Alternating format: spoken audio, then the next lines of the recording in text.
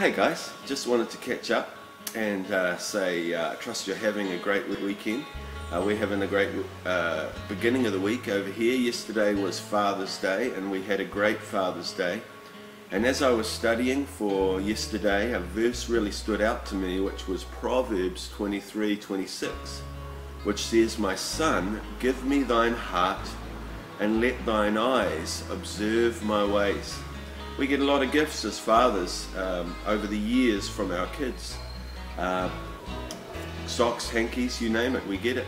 But uh, question is, do we ever really get the heart of our kids? You know, what a great thing it is uh, to, or would be, to know that at the end your, your child had given you their heart. Um, are we worthy of the heart of our kids and the way that we're parenting them? Good question.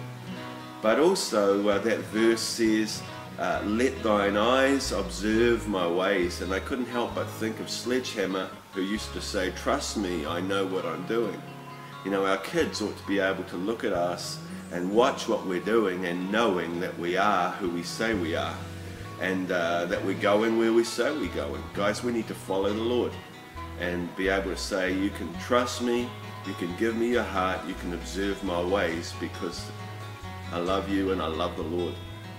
Well, just a, a word of encouragement and uh, thank you for taking the time out uh, to listen and I'll look forward to catching up with you, God willing, uh, when we can. All right, have a great, great day. Thanks, bye.